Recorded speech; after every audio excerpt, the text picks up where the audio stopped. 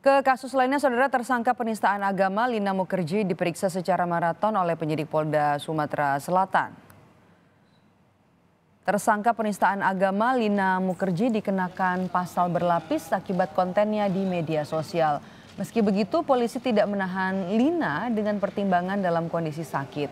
Lina berstatus sebagai tahanan luar dan wajib lapor mengikuti pemeriksaan lebih lanjut. Tersangka Lina Mukerji meminta maaf telah menimbulkan gaduh di publik.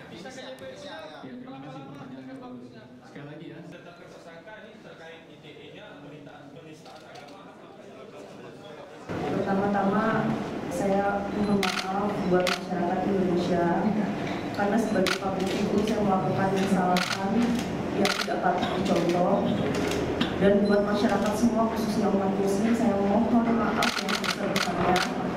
Semoga saya diberi kesempatan untuk menjadi yang lebih baik dan saya berjanji untuk tidak mengulangi lagi. Terima kasih buat rekan-rekan media juga.